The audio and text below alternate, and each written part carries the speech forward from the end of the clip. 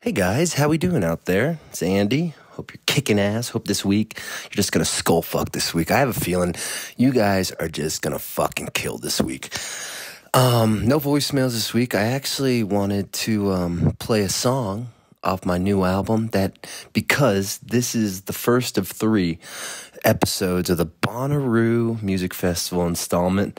Yes, we made it. We're playing on Bonnaroo, and uh, they were nice enough to let us be the podcast for um, for the music festival. So this week we have uh, King Gizzard. Stu, he's fucking awesome. You're gonna love this interview. But first, I wanted to play this song. It's called Dream. We uh, we wrote this when we found out we got the Bonnaroo offer. it was such an amazing feeling to play one of the most prestigious uh, music festivals, and we wrote this song about it. It's called Dream. So, Chris, play the flutes, baby. Um, a world premiere on the World Saving Podcast. Well, kind of. You might have already listened to if you listen to the album, but please enjoy our song from Andy Frasco and the UN called Dream.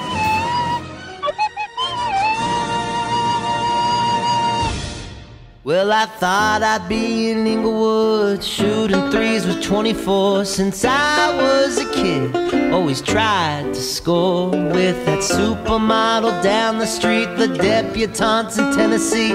Mama always said that a dreamer's gonna dream. Dream, dream, dream. All you gotta do is dream. Dream,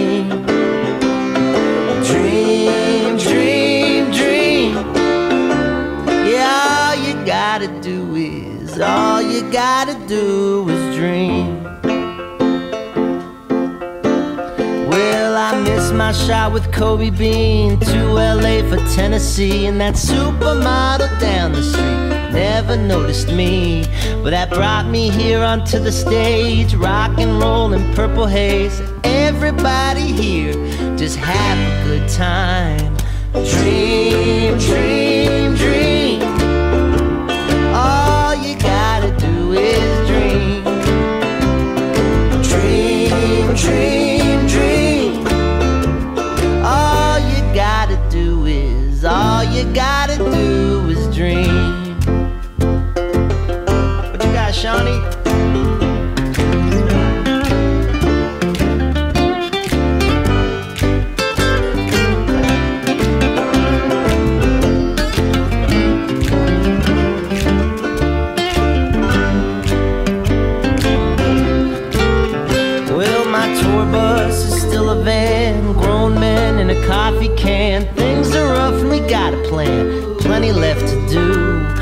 Shoreline and Bonnaroo, Red Rocks and hang out too. Things are good and I can't complain. Every day's a dream. Dream, dream, dream.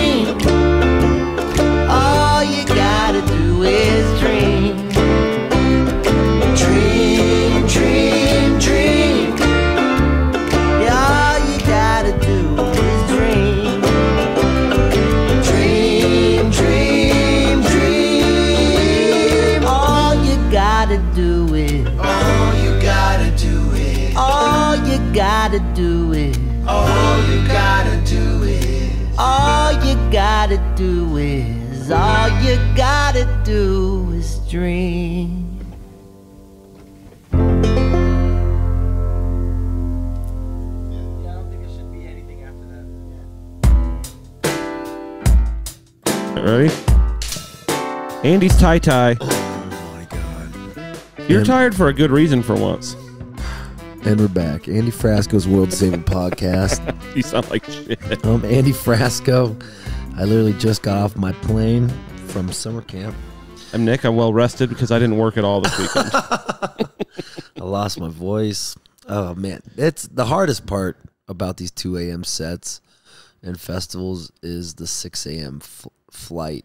Yeah, because 6 a.m. flight requires you to get to the airport at 4:30 or 5. Oh my you god, know? both airport adventures were close calls. At least your Peoria is like a small airport, so you don't have to like run through a bunch of security. I know, but you gotta like we were in Virginia. We had to drive an hour to the airport. oh my god, I hate that. Everyone's all fucked up. There should be a law for festivals. It has to be within 45 minutes of a major airport from now on. yeah. None of this three hour drive and then, you know? Woo! Hell yeah. What a fucking night. Ooh, Summer camp was amazing. I had a blast. How long were so you was there? Rooster Walk. Um, eight hours. Oh, that's that's enough. it's funny. Eight hours of Frasco is like two days of someone else. Who'd you see? Um, I watched. Did you see Bayliss? He probably I left. watched Main Squeeze. They're fun. They're like the best band, I think. I love that band. They're a good band. I like them. Um, who was the best? We sat in with Little Feat. No, they're cool. Yeah, Um, Dolov Cohen was a great sit-in. he was there. Dolov showed up He went to summer camp. like a bat out of hell, dude, that's the only way he shows up. with his sister and uh, he, His MAGA sister. no, no, the other one. He has a MAGA sister, right? He's got a mega sister. like insane MAGA sister. yeah, like conspiracy theories, MAGA. That sounds. I wish I had a sibling like that so bad. That'd be so fun. All my It was siblings are nice. like very normal and like. Rational. Man, summer camp, it was fun. But this isn't about summer camp. This is the Bonnaroo episode. Oh yeah, we're on Bonnaroo now. We're like NASCAR. I would love that. If someone, I will wear stuff all over my body. Just gotta pay me, obviously. But Bonnaroo is coming up. guys. Manchester, Tennessee. Um, we're playing Bonnaroo, and we have King Gizzard and the Lizard Wizard on the website. On the website, I can't even fucking talk. We're a podcast. This is useless. This is No, people like this. this is This is Andy. this is the Monday they don't see after my Monday mo- motivations.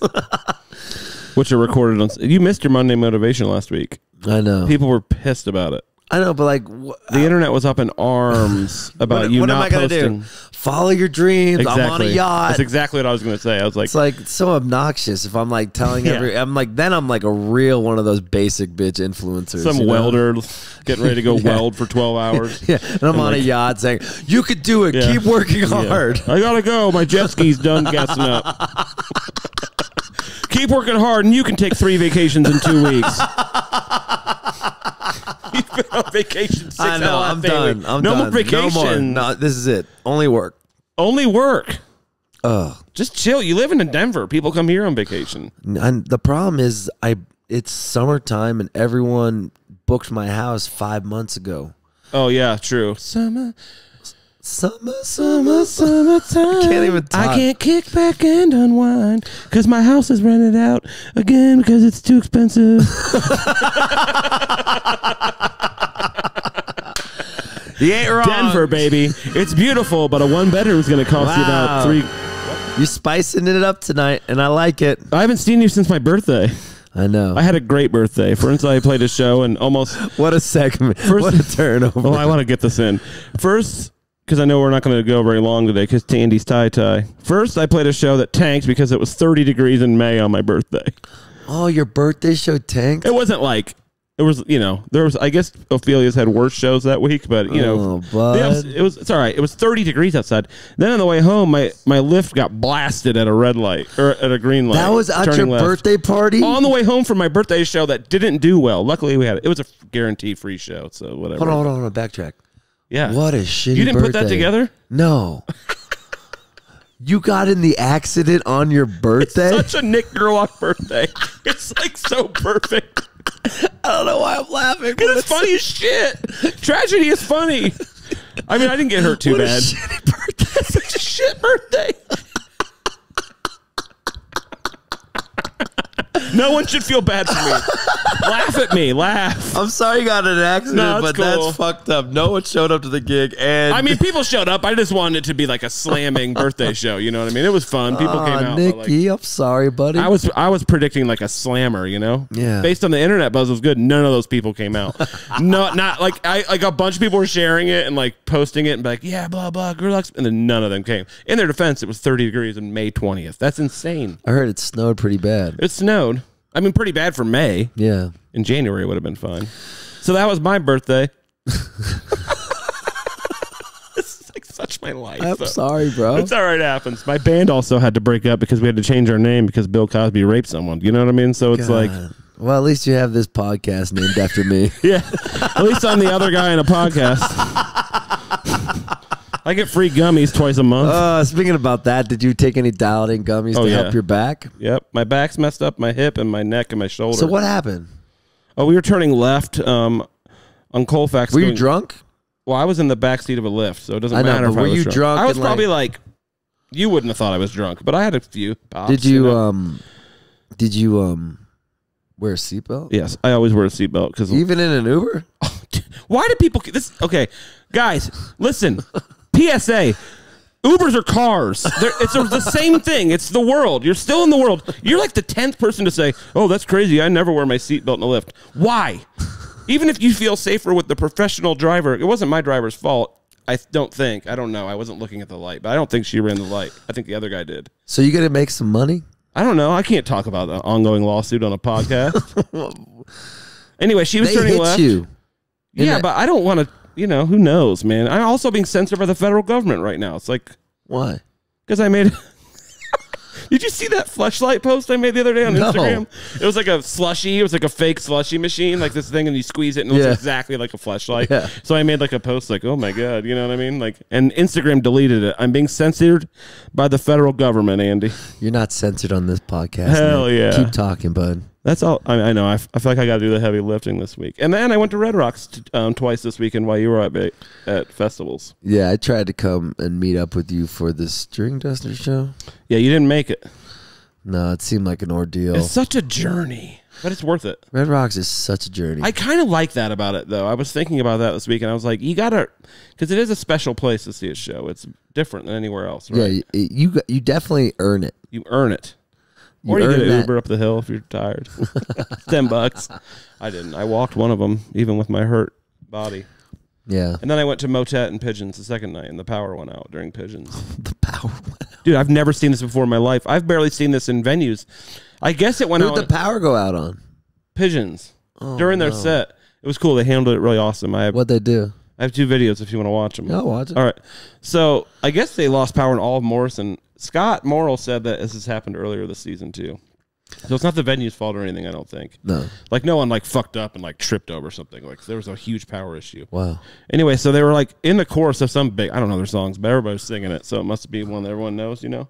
They were like in the middle of the chorus and all of a sudden, both the, you know, the video walls, they all went out, everything went out at once. It was so jarring. And then it was out like way awkwardly too long. Pull up the drum video and then Gator, hot guy Gator, saved the day. He oh, just, speaking of that, because the only thing you can hear is drums. you know who's getting jealous? Who? That we're calling everyone hot besides him, and I had a conversation about Stay it. sick. I, it's gotta be stay, stay sick. sick. I knew it was stay sick.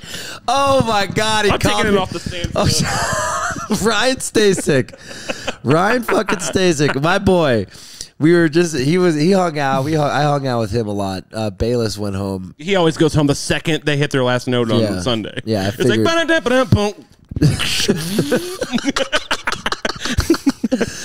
Um, and then Stasik was like, "Don't sugarcoat." I'm like, "You look really cute today, Ryan. Your hair is blonde." jealous, isn't he? Yeah, I'm like, "You look cute," and he's like, "Don't tell me that. Don't fucking butter me up. I know who you think is hot."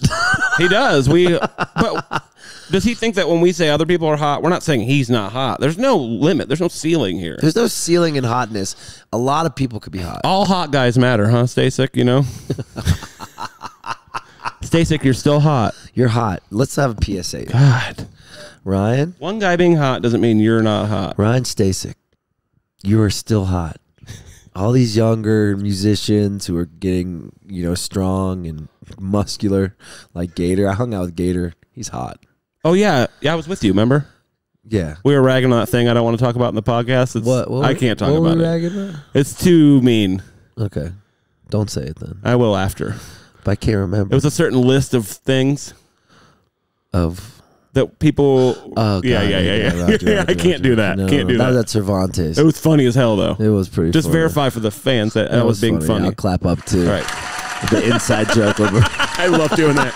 All right, Gator, hot. And that was when Gator was hot. And um, oh yeah, we did hang out. We hung out with all those EDM kids. Yeah, Menert show. Yeah, Menard show, and I got yelled at from some girl. She's like, "You're not a DJ." I'm like, I can still attend I can events. still take a photo with these motherfuckers. Oh God, people are so fucking. You're still an annoying. artist. They invited you. Yeah, like you don't you shouldn't take a picture with these DJs. You're not a DJ. I'm like, How about I take a picture with some cool guys I'm yeah, friends how about I take a picture with my friend Michael? She's just mad because she's not in the picture. She had to take the photo. Me and Michael want to do a ghost stories podcast. really? Yeah, He was supposed to show up today. I know. I didn't. It, it was too random. We'll do another time with him when you're not like on no sleep. Mm-hmm. So you saw Gator. He's hot. Stay I sick. Gator, stay sick. Um, I, the best thing I realized that our fan, not our fans, are like our group of bands that we all hang out with. Uh-huh. Everyone had each other's backs. Everyone was at each other's shows. All the homies That's were at cool. show. All that we were all at their shows. Yeah, you do that sometimes for people at festivals. Not me last year at summer camp, but you know, other people. A couple bands didn't show up when we supported them. You should have done the Olympic parade with them all. You didn't. well, do I did. I had fucking twenty five sit-ins. Oh, God. same shit. Just like we talked about. But these are cool sit-ins. It doesn't matter. They're still sit-ins. Did Brian? I felt like I was in control. It wasn't all night, right? Yeah, no. All the, all the sit-ins were like perfect. But they were still a lot of sit-ins. You're gonna. Brian's not gonna like this. Well, too fucking bad. Yeah. Um, we had great sit-ins. We had Cherub sit-in. One, two guys, or both of them? Uh, just Jason. Just Jason. He sang with me on Okay. Talking Heads. That's one. We had the whole band of La Special. That's four. We had uh, Low Down Brass Band. Another five, right? Nine, We had Mike Dillon. ten. this is one set, guys. We had um, who else did we have? Oh, Sasquatch. That's eleven. Um, and then who else? We might get twelve. I might do two for him because he's in costume. Oh, Little Strangers. Twe- how many of them? Two. That's thirteen. I'm only gonna do one for Sasquatch. Get- We're at thirteen guys. There's only there was- five people in your fucking band, dude. It wasn't all at once. well, Who else? yes, it was. What? That was it. Rooster. What about Rooster Walk? There was a lot of people too. Oh, Roosevelt, yeah, I forgot. There's a whole other festival. Roosevelt. We had Roosevelt Collier. oh, sick. He He's doesn't the count. I'm not gonna count sickest. him. Actually, he's too good. He's sick. And then I had um, I am gonna count him though. two One, fiddle players. two of the people playing the same instrument. You heard it here first. separately. Okay, but still three, Um, we had Taz, my son. four. Your son Taz. I hope his dad watches this. He was there. I'm Oh. like, this is my son. He's gonna wear condoms. Oh my god. I was like, I'm like, I'm pumping him up like I was a proud. I'm like, this motherfucker's going to Yale. He's Well, been at you- Yale for a whole Yeah. year. I know, but I was just jacking him You're up. like this dude. guy. He's like, I have been at Yale for a year, Andy. I'm smarter than you. I love it. He's like growing up in front of my eyes, and it's amazing. It Makes you want to have a kid of your own. I bet. Nope. So that's four at Rooster Walk. Only a one hour set there. Uh, two hours. There was other. There was more than that. Who else sat in? Oh, Five. Kendall on the drums. Yeah. And I guess that was it. We didn't really have that many. That's that's 18 in two days. So let's like we're going to start an Andy Frasco sitting counter this summer. Okay, for all your festival set. I think you're going to go over 200 for the summer. What? Two hundred sit-ins. Oh yeah, and that's by what through September probably, right? Unless you have some weird October festival. I'm in more in control. Last it doesn't couple matter. years, They still happened. I know. I I basically do like one fourth the set sit-ins, and then we, we play the rest by ourselves. I understand that. Bry guy's not going to like this though. I know. You're going to get a angry voicemail. He texts me like, "How was it?" Why did we spend all this time making this album, recording all these songs? This isn't how he really talks, guys. I do this anytime I'm making fun of someone. I do this voice. Making uh, all these songs, and then you don't even play them at your festival, and you have a dog and pony show. Don't forget to talk about your new LP, shows, and podcasts. Well, that's true. Your sets this summer. I know you're on it. Just reiterate. I'm surprised he wants you to talk about the podcast. Actually, yeah, well, podcast is making every is I have a theory that he hates, secretly hates the podcast. why because it I'm just wasn't his idea. Yes, that's how managers are. He told me not to do the podcast. He's like, See? "Why? Why are we wasting our time on this podcast?" Well, now they're the only thing that, that makes any money in the entire entertainment industry. Every rich person in entertainment now is because of their podcast. I feel Hmm. like. so yes, we did have 18 sit-ins. Hell yeah, but still, bracket up. 18 sit-ins, Frasco. Um, Remember you know, that. that's 18 entertainers. That's 18 different ways to sign up for Repsy.com. Oh, they're still in. They're still here. They Hi, just Repsy. signed. Actually, Repsy signed up for another six months. Let's go. Thanks, Repsy. Keeping the light bill on around here. Thank you, bud.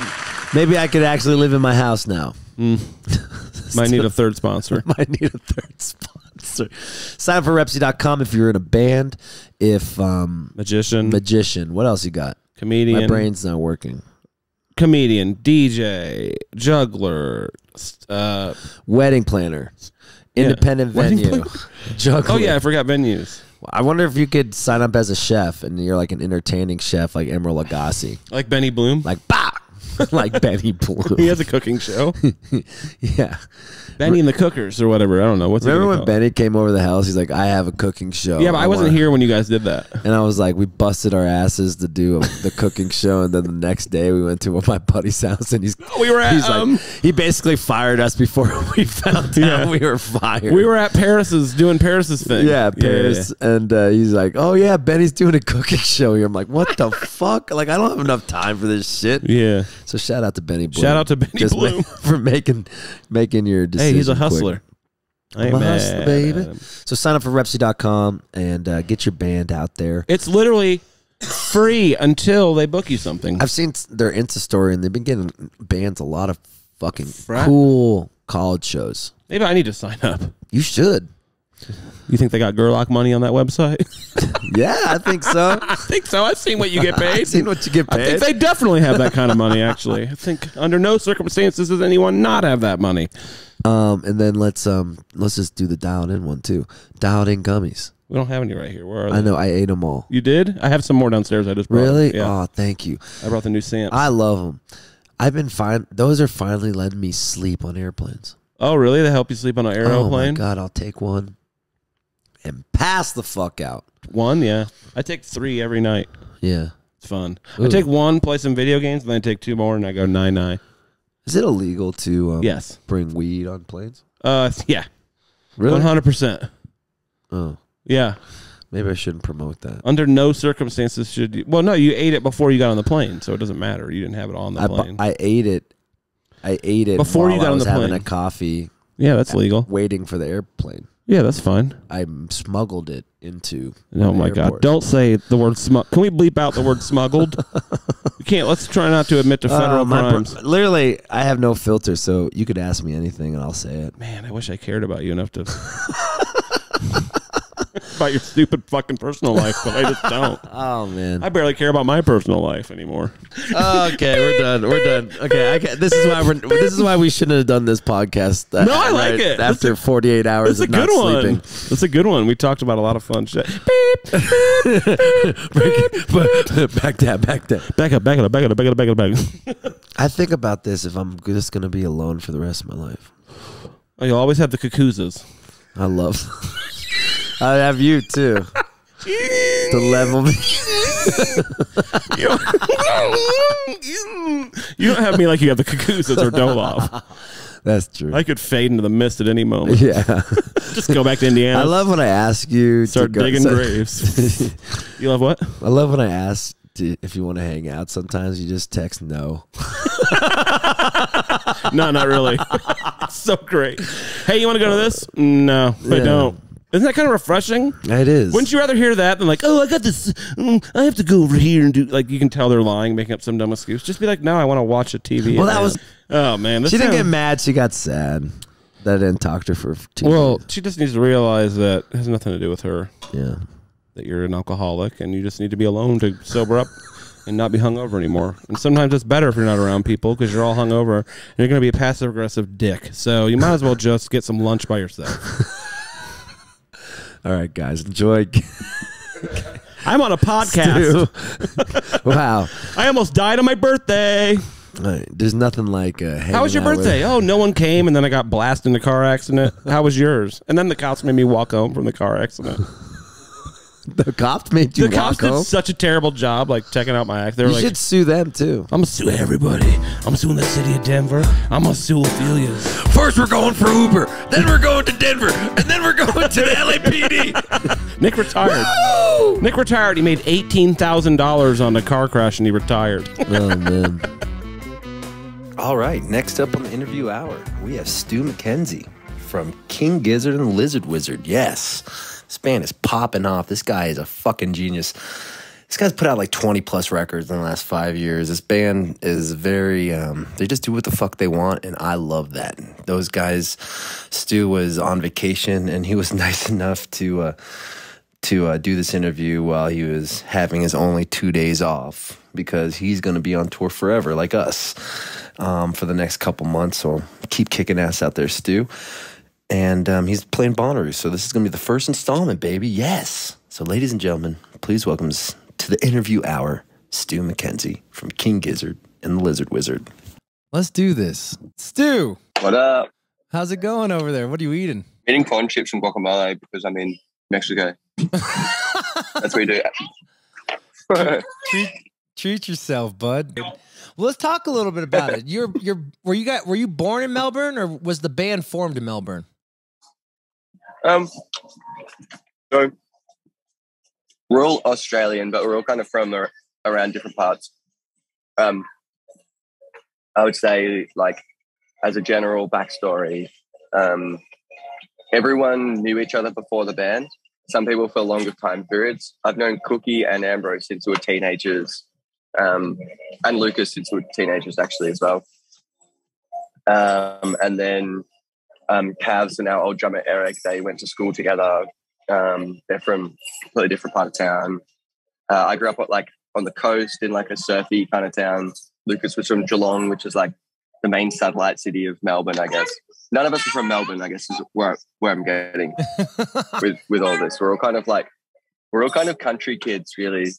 Um, and then we met in Melbourne, like living there and becoming friend, like you know, mutual friends, and we were all playing in different bands. And at the start, King Gizz was like the fun band. It was like the the band that like it was kind of jammy and loose, and like we didn't really practice. Um, we just would, and it was the the the, the membership was fluid. Like people would come along and just play one show, or um, we tried to make a band where like you could play if you didn't even know the songs or you didn't even know any of the members, you would be able to join and like play a show. And that's kind of like the early version of Gizzard was that. Um, but yeah, the the seven that stuck around for like a long time before Eric left the band or whatever. With it, we're just the seven people who, I don't know, like just thought that concept like had validity. Maybe everyone Yeah. else was like, "I'm out here. This was this is stupid." Um, so yeah, in that sense, it was never really like a put together band. That's kind of why we got the sort of like two drummers, three guitarists, like harmonica. There's weird instrumentation, makes no sense. We play like weird genres and shit. It just it just happened, you know. It just like Yeah. spontaneously formed, um, which which I like, and it's always felt like a nice fluid energy of Gizzard. What um what do you like about the open door policy? Um, I mean, for starters, it's not like it's not quite like that anymore. But in those days,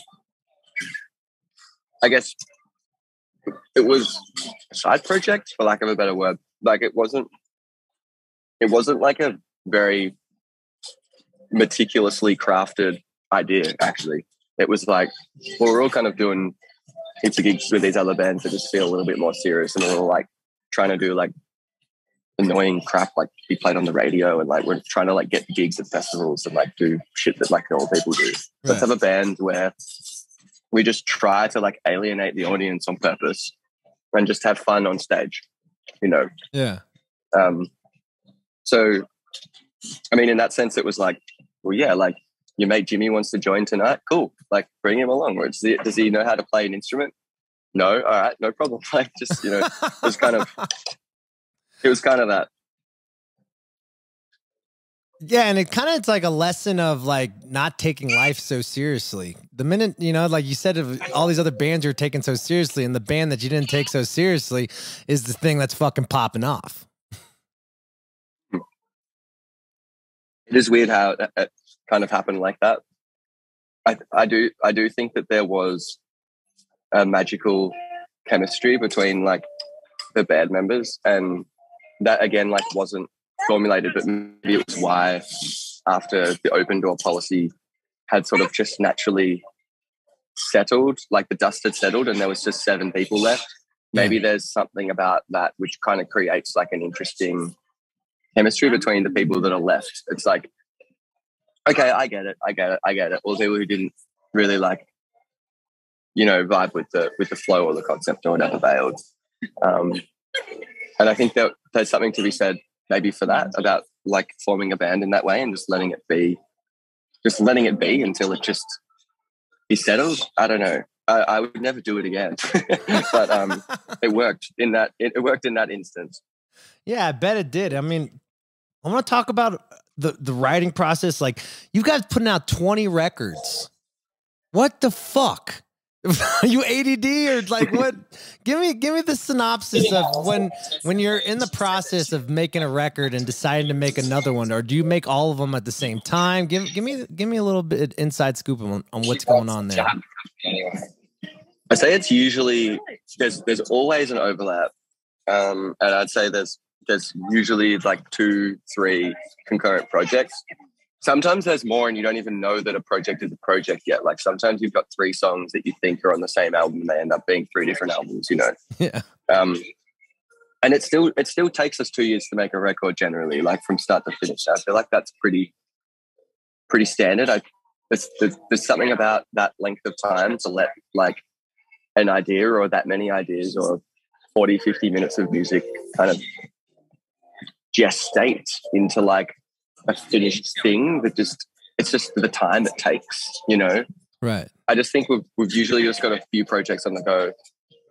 Um i think yeah i don't know why we do this but we do it, it for, for me personally it's actually my favorite part. I love playing shows. I love touring. I've actually grown to love it more especially the live performance. I think over the years I've, i enjoy that more than i ever have now but the recording and like the writing has always and, and probably will always be my favorite part Mhm. um you know i like i love writing songs because i know that i'll get to record them you know and so much of the time it's like i write a song around an idea that i want to experiment with in the studio or like an idea i want to experiment with like a with like a with like a chord progression or like a certain set of instrumentation i've never done before or whatever it's like the writing is the recording with with Gizz um that's kind of i don't know maybe that's why we make lots of stuff because it's like in my mind the funnest bit Yeah, and also, do you write a lot to kind of like you talk a lot about anxiety in, your past interviews? I'd like to you know talk about that a little more. Do you think writing helps you know you navigate your anxiety? Think it's like something I feel like I'm in control of, which I think is kind of powerful. And I think the primary thing about what you're talking about is that it's like when you can build something from the ground up, from literally nothing, from the spark of an idea to create something that is tangible and like be in control of that. There's nothing to me personally more just like rewarding and yeah, like soothing and just validating that like I've you know that that you can do. Um, so I think I think that's that's that's definitely a driver for sure. I also am not too good at, at chilling or like sitting still. Yeah. So so it's just felt like keep being the shark. You just keep swimming, and yeah, it's just like my version of like feeling good. It's just kind of like being really busy. Have you ever? Did you ever get into any substance abuse growing up? I don't think I'd use the word abuse. I would like use the word like experimentation. And I like have a kid and like a family and stuff now. So I'm pretty chill.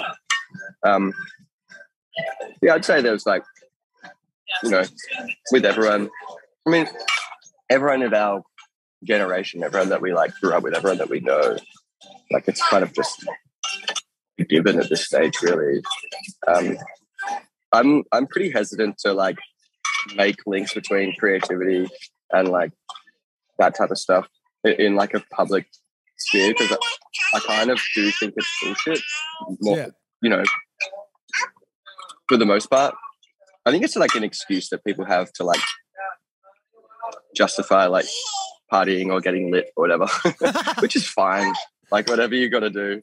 What Um, about psychedelics to cure your anxiety? Yeah, I think there's some validity in that actually for sure. Um, I think there's a version of like doing it to like uh, like clear the page, like erase the page, you know, Right. go back to a blank slate. I think I think that's real. Um, I think it's pretty. I think it's like pretty dangerous too. You know, so I will. I will always like say to take with a grain of salt because I have seen people go down like a, a dark path or one thing lead to another kind of type of path.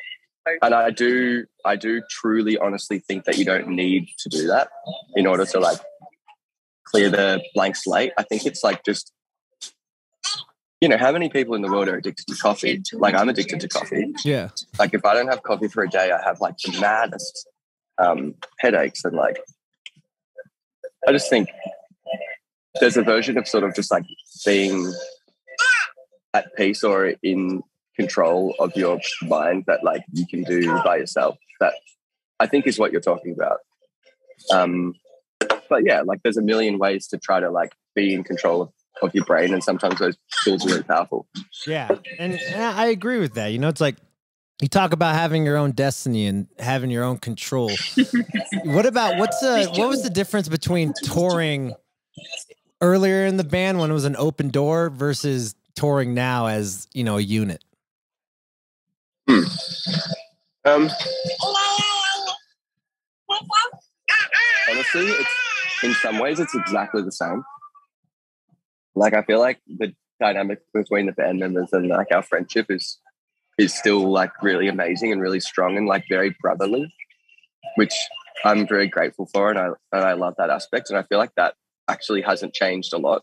And in a lot of ways we're still just doing the same thing, which is cool. Somewhat unsettling now that I say that out loud because I'm like in my 30s now.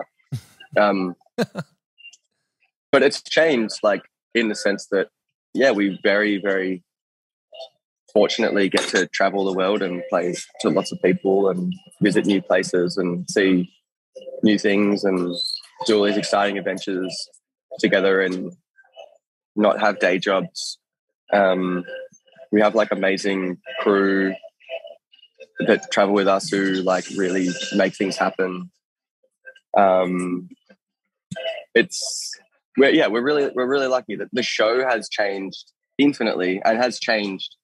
I would like to think it changes fairly significantly every few years, which I'd like to try to keep kind of doing.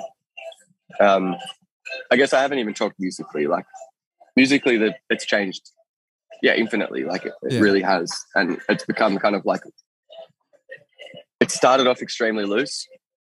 It got really tight, and now it's gotten extremely loose again, but in a new way it's just gotten jammier um and yeah like longer and more improvised as we've learnt to like play with each other better and listen to each other and um i don't know i've kind of just been trying to vibe with the idea of every single show being a unique experience Mm-hmm. um, which is not a unique idea at all. But for us, it kind of is.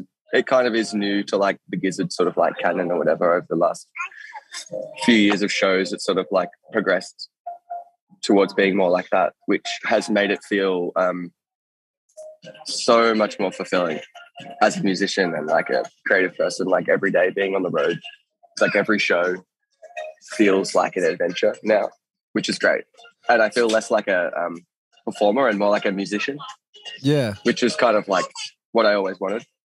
How hard is it? You seem like you're a man of structure. How hard is it to like get your head? How do, eh, how hard is it to get out of your own way to just have this loose life?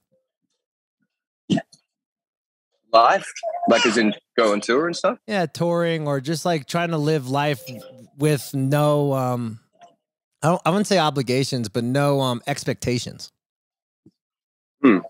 Um, the hardest part is just navigating like all the things that you have missed being at home, your family and your friends and and stuff, and like seeing people doing fun shit like that you're not there for. Yeah. or even you know, like having projects like a, a record that just doesn't get finished, like because you're on the road and you can only work for like an hour a day in this like small window when you're like, I don't know, not asleep or like at sound check or whatever um, on a plane. You know what I mean? Yeah. Um, that's hard, but I actually do quite enjoy the the chaos of touring and the every day is a different thing of touring and every day you wake up in a different city thing of touring. You know, that's always been like it's, it always felt like it's given me life yeah. and coming coming out of that adventure, yeah, you're like feel tired and like you like sick and stuff and like all of those things. But I always feel quite creative when I get off the road and start writing and, and that sort of thing. I love it. How do you like separate dad time with your musician time? How do you delegate the time to do both? Mm. Um, it is a hard one. On on on some level, it feels like it's come easy because I actually love being a dad so much, and like this is I don't know if you can see this. This is, my, this is Minty. She's literally sitting Oh, right yeah, I see it. I see. Oh, hey, what's up? Cute. hey, bud. What's up? I think she wants to get. I think she wants to get out of the high chair right now. Yeah. Um, it's good. Um, it's um challenging in the sense of balance and like expectations and stuff, but it's just like so. I actually don't think about that very often. It's so rewarding and so fun and feels so right. And like we felt so ready to do it after not being parents for like so long. And yeah, it's um, I'm very lucky that like my wife Pip is just absolute super mum, and I don't know what like I would do without her. Honestly, we're we're a good we're a good team. We're a good unit. Um, but I have had I've had, had to get I have had to get better at separating my time and like delegating my time and like when I get home, I try not to just like think about the song I'm writing anymore, which I find very challenging to do actually. But I think I've gotten a lot better at it. Um, just like when I'm a dad, I'm just like a dad. You know what I mean? And then like I have to be like, yo, I'm out. I'm like, I'm I need to go to work. You know. Whereas in the past, it was like I just was kind of always working or thinking about work or thinking about a song or thinking about something or like there but not there. You know, and I I didn't really have any boundaries or whatever with that. Like if I needed to get up from the dinner table and like record a voice memo, I probably would just do it. Whereas now I sort of which is probably like actually nor- normal. Like most people have jobs, like have to learn how to do this at a much younger age. yeah, exactly. but like I'm having to learn how to do that now. No, Sorry. I, I mean, as long as you're trying, that's you know, that's broad, that's what I want to talk about. Like, it, is it hard for you to stay present because you're thinking about all this other shit all the time?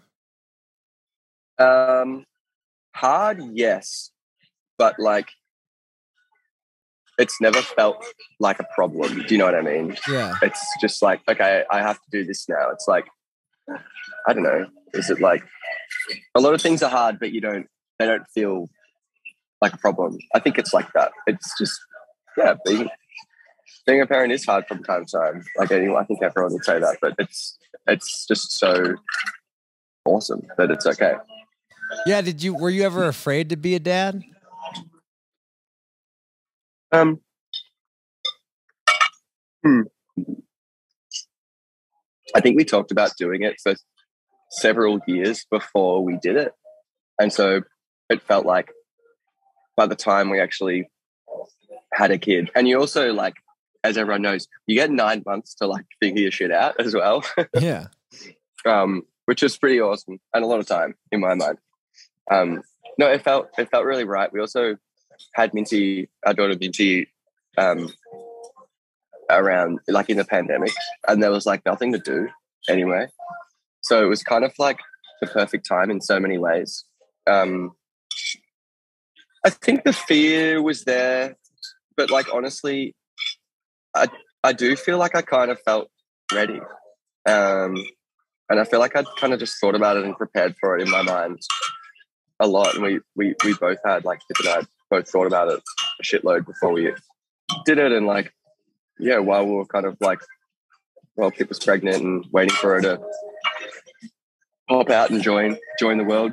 So, yeah, I don't know, a version of fear for sure, but not like, oh shit. It was more like, wow, I'm going to be a parent. That's so weird. Wh- wh- What's like? What are your fears? Do you have any fears, Stu? Um, I have heaps of fears. My my main resounding fear is of mushrooms, which is really strange. And like being like a vegetarian person is a really annoying thing to be like fearful of. But I, I have like a very I, I, I'm scared of mushrooms, which is like a, running joke within fingers. Um, I, I just don't like mushrooms for some reason, like a lot. So Like all different kinds of mushrooms or hallucinogens? All of them. all no, all of them, all of them. It's so funny. It's like if I if I if I asked you to like go and like pick up like a lump of clay and like eat it or like dirt, some shit, like that's how I feel about them. Oh, it's fucking amazing, man. Yeah, it's so funny what what we're scared of. What about flying? You scared of flying? You never been scared of flying? Um, um, not beyond like the normal fear of like it being just. I would say flying's generally slightly anxiety inducing. I, I wouldn't say I'm any different to anyone else. I feel like I fear being like old and vulnerable for some reason, um, and I feel like I have like nightmares about that. Um, no, I, I wouldn't say. Oh, I don't know. Am I? What else do I fear? I think about being old a lot, and like, yeah, being vulnerable or like, I don't know. That for some reason, like, I feel like it is a part of a driver of me, like working hard as a younger person.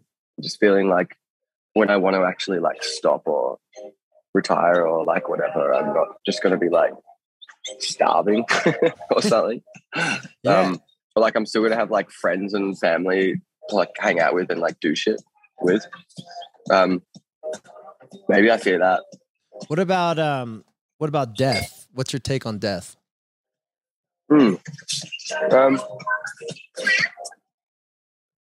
when I was a kid, I used to think about dying a lot.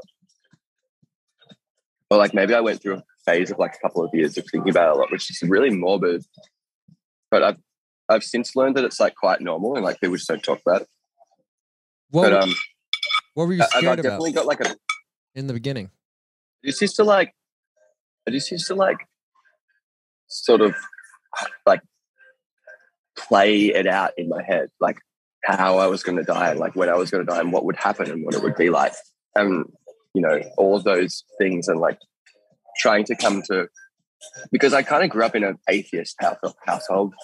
I never really ever was someone who even thought about the idea of the afterlife being real or anything like that and trying to grapple with the concept of end you know the the end of like all of this Yeah. i think is something i spent a lot of time thinking about um i don't know if that like constitutes a fear it certainly was a fear then i definitely still like have a fascination with death and i think it's it's it i think it comes from being like anyone in like the field of arts, there, there, there's a poetic aspect to death, and I think it's because it scares people so much. It's like it's just a powerful writing tool.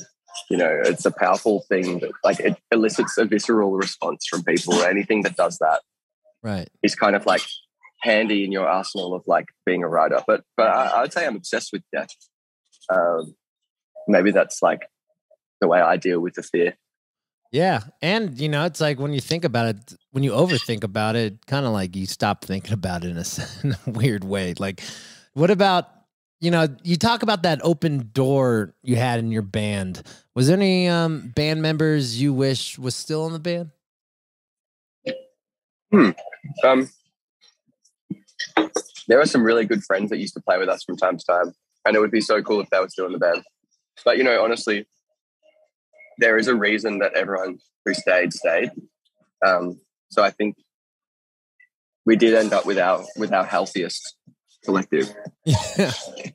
What about um what what's the di- what what's the difference between touring earlier years versus touring now? Um, it's really the shows. Like the the biggest difference is the shows, the music. I think everything behind the music, the way we make music together. You know, in in in the sense of the genre and all that stuff, it's changed massively, and the sound it's changed massively. But yeah, like the way we make music is is kind of exactly the same, actually. Um, but I would say, yeah, the music is the main difference. Easily, easily the main difference. You talk about uh, you the way you make music is the same. How do you guys approach songwriting? Um, it's um, it's pretty fluid. Um, I would say we don't have like a set way, and in a sense, like there is a bit of an open door thing going on there too. Because if you look at the credits of like our records, you know, not everyone plays on every song, not everyone plays on every record. Even people kind of come in, come in and out. We've only a handful of times made records in the traditional sense of like you go to a um a studio and you like make a record in one go. We've actually only done that like a couple of times. Um, I've always found that way of making music really, really challenging. We're more likely to just set up in someone's like kitchen or lounge room and just leave it there for like a couple of months and just work on it as we go. And over the last like five years or so, we've had we're on our second studio now, but just like a a studio in Melbourne that's like a kind of home base where we just kind of go and work and the, the current space we have is is one giant room where we can like make really loud music and no one will get pissed off basically. Um, and then a couple of other smaller rooms that are like i guess like just miniature little control rooms where we can just go and like mix or edit or do overdubs or whatever. And sometimes like all six six of us are there and sometimes there's a bunch of other people there other people we work with or people from like labels or like you know pressing plants or like whatever that we're hanging with or artists. Jace who makes all of our art is often there as well. Um, and then sometimes there's one or two of us there just kind of like you know making music in more of a solitary way. Um, but it is very much a when we make a record it's like you can contribute as little or as much as you would like.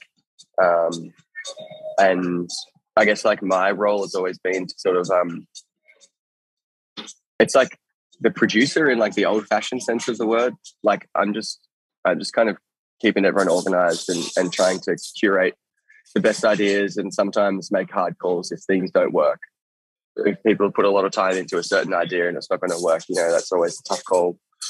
Um, but it's yeah, it's always kind of been my role to like, I guess, oversee all of that. Also be team mediator, keep everyone happy and still like creatively stimulated. Try not to make people do more than they want to, but try to keep people interested enough that they want to keep kind of like creating and keep being involved. So that's my very loose and vague and like probably not really answer to your question, answer to your question. How do you so like as you know if you put on your producer hat, how do you know when you know it's like you say it normally takes 2 years, but it seems you're, really meticulous about the finishing of a project. How do you know when a song's done or a record's done for you? Mm. Um, it's really, it's really, really hard because you you cannot always work on something forever. Um, and I I do always try to remind myself that things don't need to be perfect. And when we're making a record, there are certain artists that I like to listen to a lot. But when I'm finishing records specifically, there are certain artists I like to listen to a lot because their records aren't perfect, and that's why I love them and it really helps like center me and remind myself that I'm not trying to make like a piece of glass that you can see right through and you don't even know that there's any imperfections in there. It's like the imperfections are what are what make the the piece have character. For example, like my favorite person for this, and this is something that someone that a lot of people don't think about is Bob Dylan. And like his records never ever sounded perfect. Um, but they always just had so so much character. Um, so yeah, I do try to listen to music like that a lot when we're finishing something, just so I I know it's okay if it's not perfect. Like it's just about the vibe. How many records did it take until you took that philosophy into place? I had that from the first one with Gizzard because I think it went to the idea of being in other bands that were trying to make their records perfect. Um, and it was the philosophy from the very beginning, actually. So that's one thing that's stuck around through every record that we've made. Do you think uh do you do you take that same philosophy as being a father? Um, maybe without realizing a little. Um, Yeah. we'll see. Any records, you know, any records in the past that you lose sleep over because you felt like they weren't finished and you forced a release? No. Um, we've never like been forced to release anything really. We've always been very careful about like the people that we work with or record labels or distributors or whoever. Um, we've never been in a situation where we've felt pressured to do anything and or anything or do anything weird or nothing that we haven't wanted, um, which is really lucky and great. So yeah, there are records which, like, if I made today, I would make them different, definitely. But when I have had to listen back to our music that was made, I always listen to it and I'm like, well, what the fuck do that for? That's that's weird. You know, why did I do that? That's strange. But then I'm like, I guess that's. I have no idea why I made that decision. Why does that guitar sound like it's coming out of a like fucking deodorant can? You know, like, but, but sometimes but then I think, okay, well, yeah, that's cool. Like, I don't know why I did that, but why not?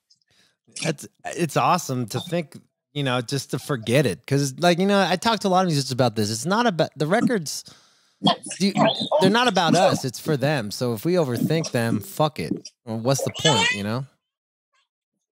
Totally. And it, it is the most liberating experience as well to finish a record and then to put it out and to finish it and to, for it to belong to other people and for it to just that's the moment to me where it feels done because you can't change it everyone's already heard it it's just like the biggest fulfilling sigh of relief you Right. know?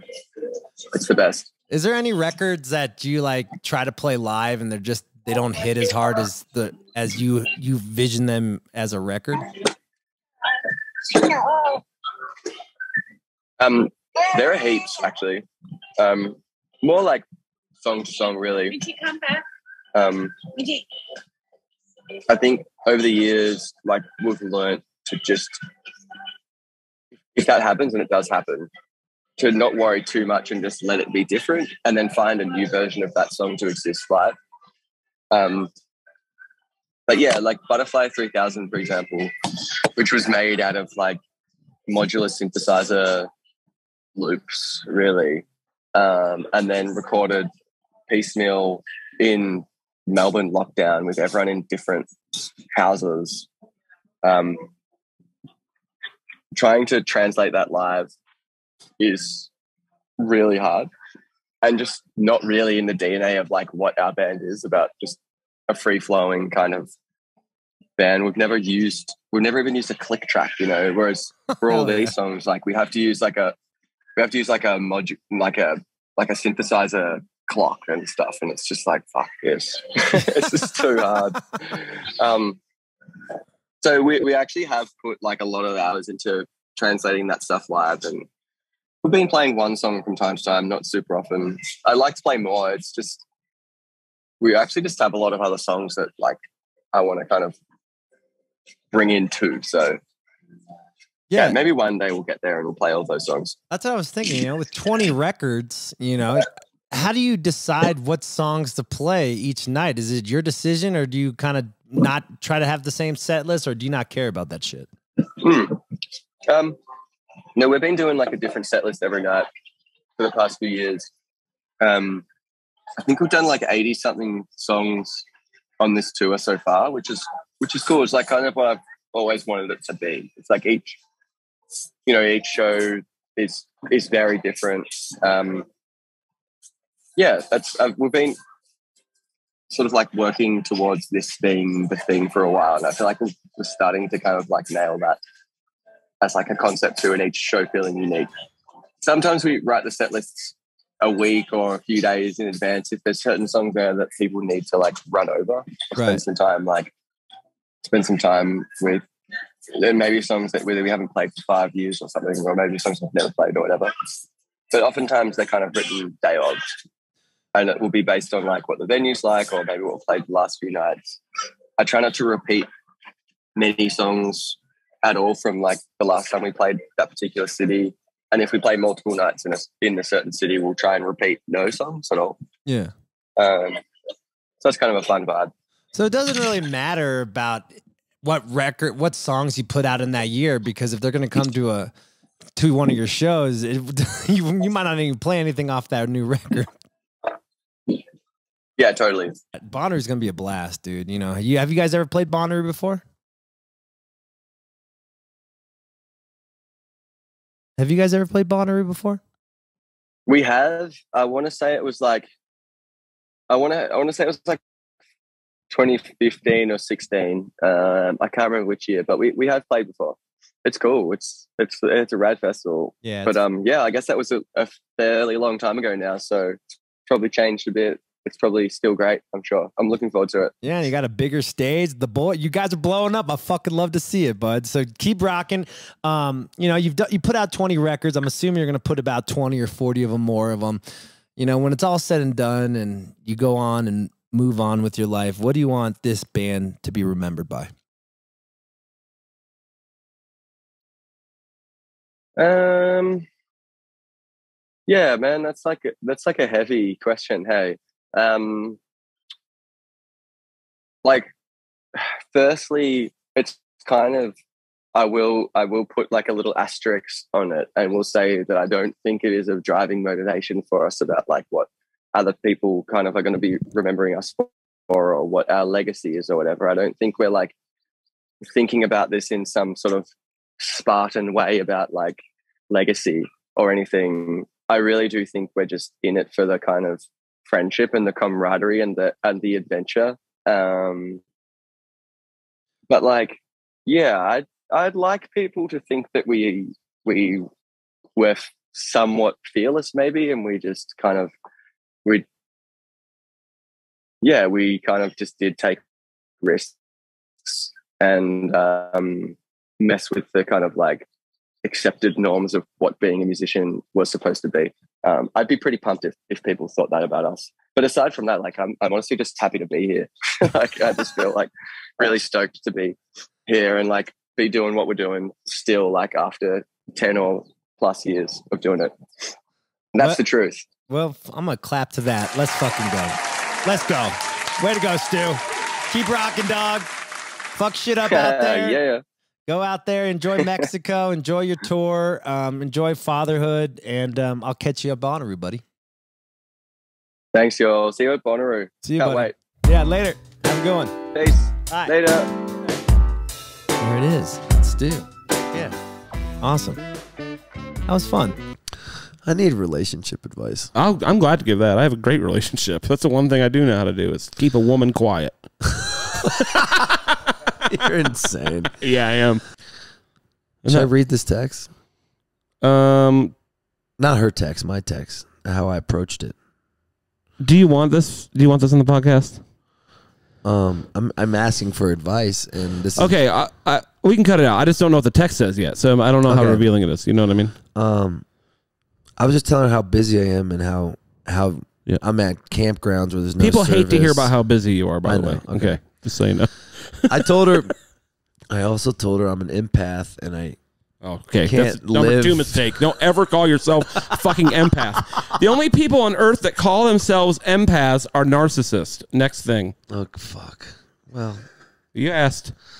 I know I did ask. Don't ever call yourself an empath. That's so douchebag. It's Really? I hate when people. Oh, uh, I have a joke with it from my, with my high school friends. Whenever I mess with them, I'll go, "As an empath, I agree. If you call yourself an empath, you're weird. It's normal to have empathy, guys. You're supposed to have empathy. You're supposed to feel things. You're not an empath. You're a person. You're supposed to feel things. Yeah, you're a human being. Good job. Way to go. Well, I don't even want to read this.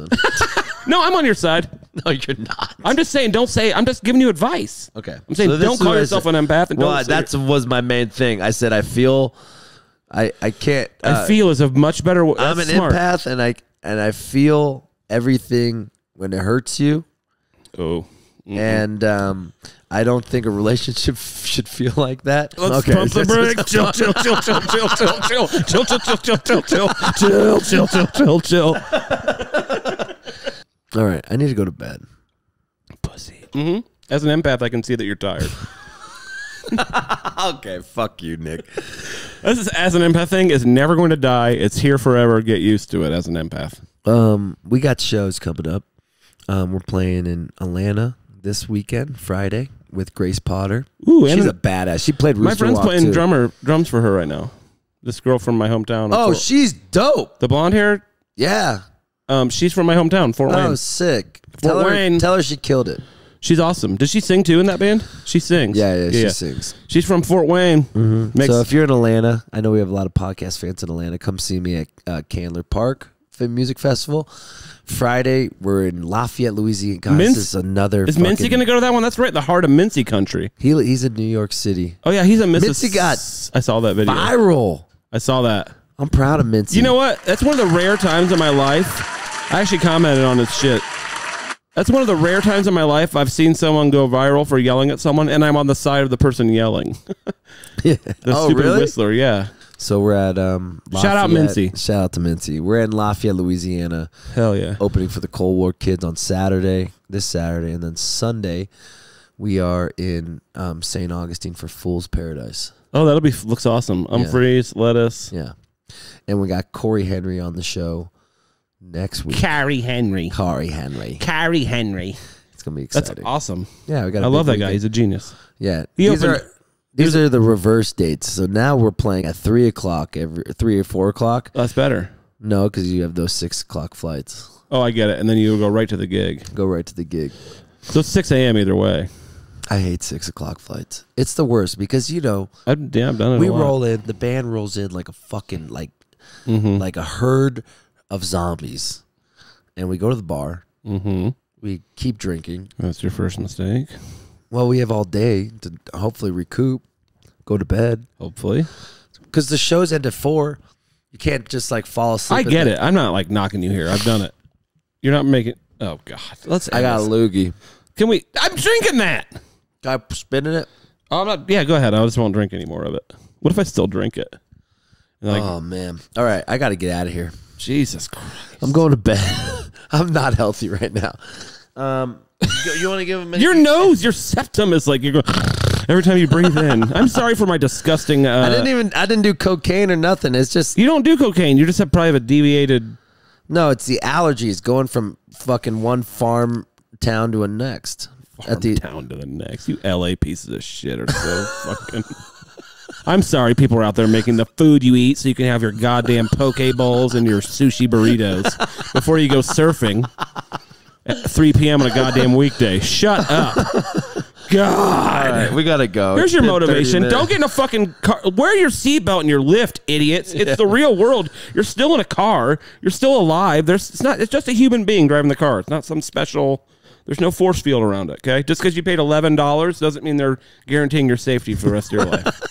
Okay, there's your motivation. enjoy King Gizzard and the Lizard Wizard. Stu was great, and um, Stu, that's my middle name, remember? yeah, and um, sign up for Ripsy.com and buy some dialed in gummies. Yeah, eat them gummies up. I'm sorry the promotions weren't as good this week. Listen, they don't have any rosin or they're rosin. There's no solvents. Ugh. QR code on them. Just, okay, just buy them and eat them. all right, I'm going to bed. Bye.